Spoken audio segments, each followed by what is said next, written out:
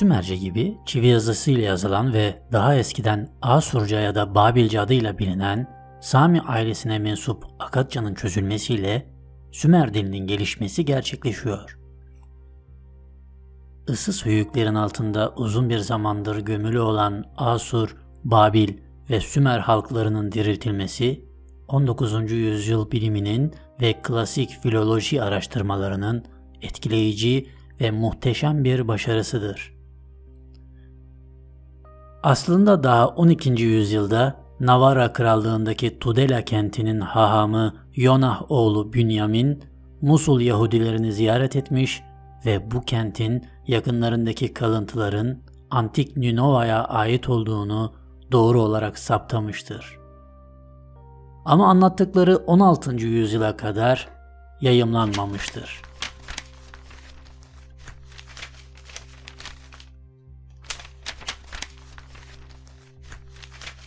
Öte yandan Babil'in saptanması, Roman Pietro della Valle'nin günümüzdeki Hilla kasabası yakınlarındaki höyükleri ziyaret ettiği 1616'ya kadar gerçekleşmedi.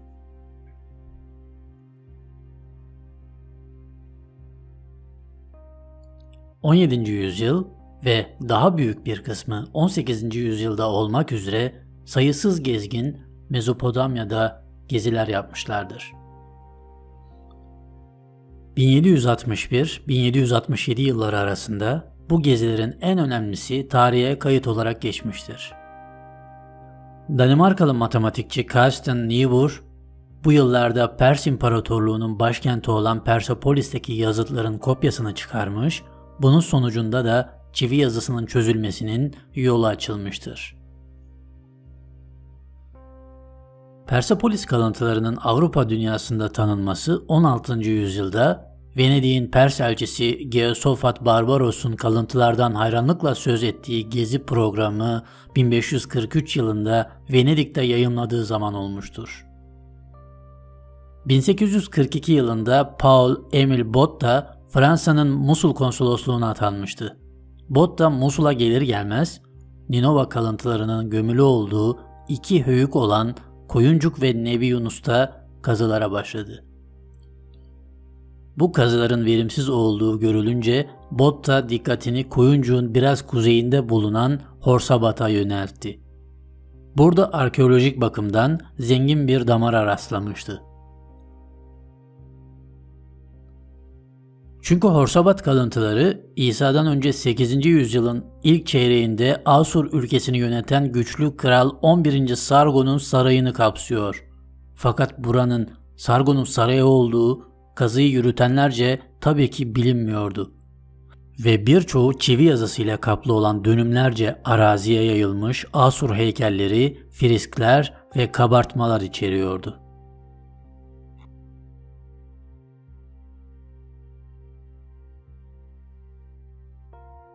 Bundan yalnızca 3 yıl sonra İngiliz Austin Henry Layard önce Nimrut'ta ardından Ninova'da sonra yine Nimrut'ta kazılara başladı.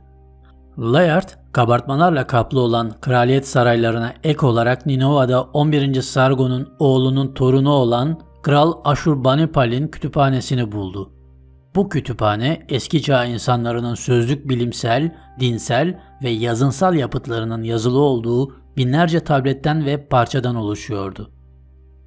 1857 yılı astrolojinin yazgısını belirleyici bir yıl olmuş ve astroloji bu sınavdan büyük bir başarıyla çıkmıştır.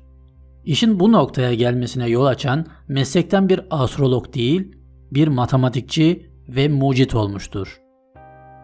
İntegral hesabı üzerine araştırmalar yapan ve günümüz fotoğrafçılığının temellerinin atılmasına yardım etmiş olan W. F. Fox Talbot aynı zamanda amatör bir şarkiyatçıydı da.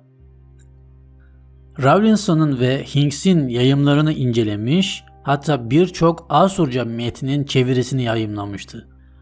Ne yazık ki 19. yüzyılın ortalarına gelinceye kadar bir zamanlar bir Sümer halkının ve dilinin var olduğunu hiç kimse bilmiyordu. Bu nedenle Mezopotamya'da bir zamanlar Sümerler adı taşıyan bir halkın oturduğunun şaşırtıcı ve beklenmedik bir şekilde anlaşılmasına yol açan gelişmeleri adım adım izleyebilmek için yolumuza biraz daha devam etmemiz gerekiyor. Bir Sümer ören yerinde yapılan ilk önemli kazı 1877'de antik Lagaş kalıntılarının bulunduğu Tello'da Ernest de Sarzec'in yönetiminde Fransızlarca başlatılmıştı. 1877 ile 1900 yılları arasında 11 kazı çalışması yürüten de Sarzec, öncelikle Gudea'ya ait olan çok sayıda heykel, dikili taş, Akbabalar dikili taşı bunların içinde en önemli olanlarından biriydi. Gudea silindirleri ve pek çoğu Ornan Şehanedanı dönemine tarihlenen binlerce tablet çıkardı. Bir Sümer öğren yerinde yapılan ikinci büyük kazı Pensilvanya Üniversitesi tarafından yürütüldü. Bu Mezopotamya'da kazı yapmak üzere düzenlenmiş ilk Amerikan seferiydi. Hem İngilizlerin hem de Fransızların olağanüstü arkeolojik buluntular elde ettiği Irak'a bir Amerikan sefer heyetinin gönderilmesinin olanaklı olup olmadığı Amerikan üniversite çevrelerinde 19. yüzyılın bütün 80'li yılları boyunca uzun uzun tartışılmıştı. Nippur seçilmiş ve 1889 ile 1900 yılları arasında 4 uzun ve sıkıntılı kazı çalışması yürütülmüştü. Güçlükler ve engeller şiddetli ve yıldırıcıydı. Genç bir arkeolog kazı alanında ölmüştü. Sefer heyetinden bir ya da birkaç kişinin ciddi hastalıklara yakalanmadığı bir yıl neredeyse hiç olmamıştı. Nippur seferi 4 çalışma boyunca kazılardan 30 bin tablet ve parça çıkarma başarısını gösterdi.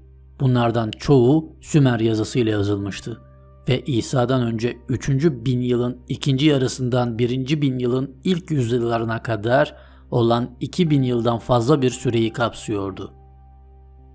Kazı ekibi ayrıca toprak altından birçok özel ve kamusal bina ile birlikte mezarlar, taş, metal ve pişmiş topraktan yapılmış vazolar ve pek çok silindir mühür çıkardı. Birinci Dünya Savaşı'nın yol açtığı kaçınılmaz kesintinin ardından heyet 1928 yılında geri döndü ve 1939 yılında İkinci Dünya Savaşı ile durduruluncaya dek kazılarına devam etti.